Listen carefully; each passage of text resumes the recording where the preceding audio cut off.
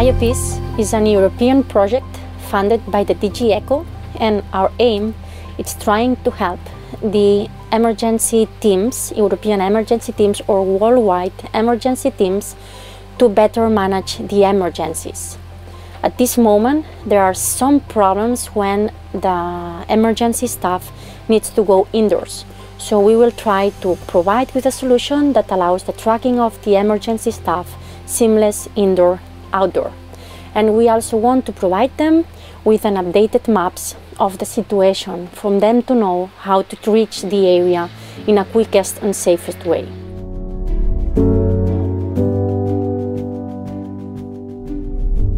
We have developed at the CTTC facilities a helmet for tracking the rescue team members.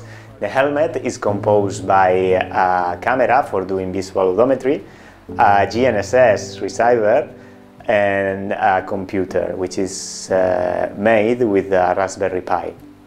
It also have a module for communications and for sending the information about the position to the uh, central station.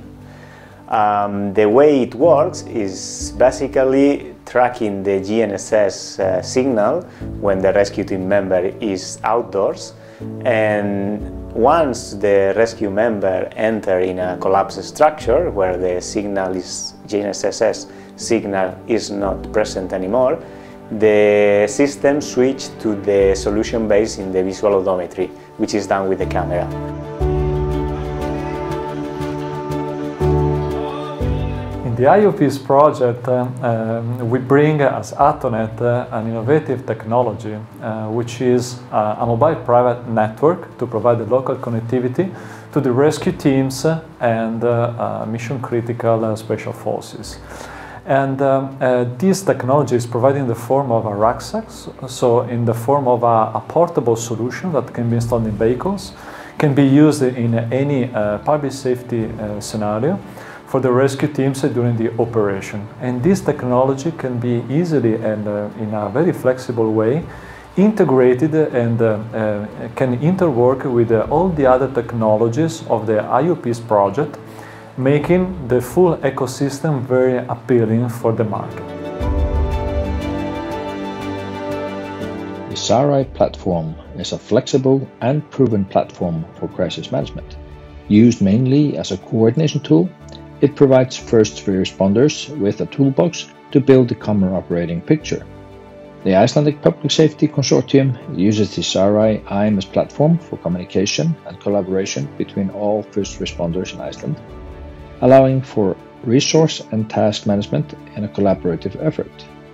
In total, there are over 6,000 first responder users on the platform. The main feature in the SAReye system used in the field test exercise is the tracking module. The tracking module can accept any GPS input and deliver the first responder location on a map for real-time location and also historical analysis. One unique feature of the module is that it offers altitude analysis in addition to the traditional latitude and longitude positioning.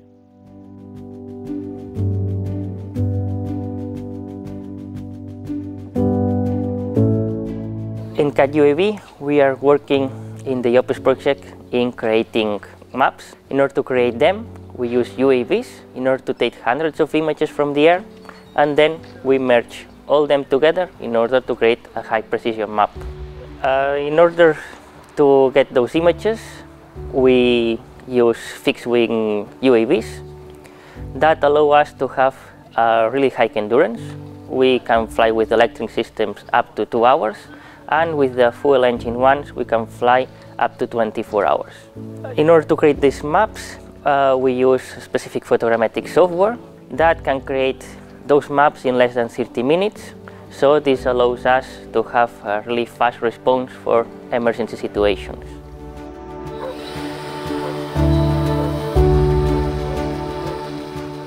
Scarabot Technologies is offering a high-performance drone which is capable of lifting heavy weights but if you're not using heavy weights, you can fly for about an hour. For disaster situations and first responders, we offer the capability to have a flying eye in the air all the time. While the drone is in the air, you have the possibility to get all the footage that the drone is producing live and you could produce a photogrammetrical reconstruction of the ground and generate orthographic maps out of this, basically live.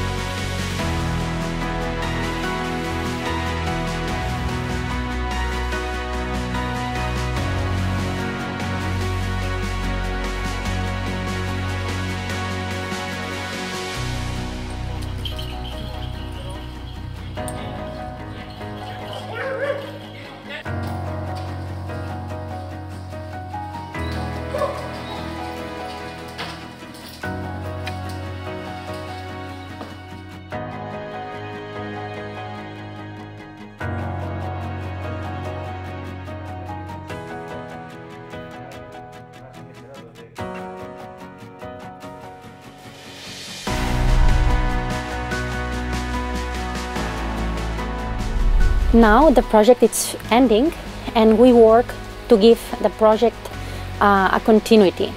So from the five technologies of the project, three of them are already available on the market and we will work to bring the other one also to the market.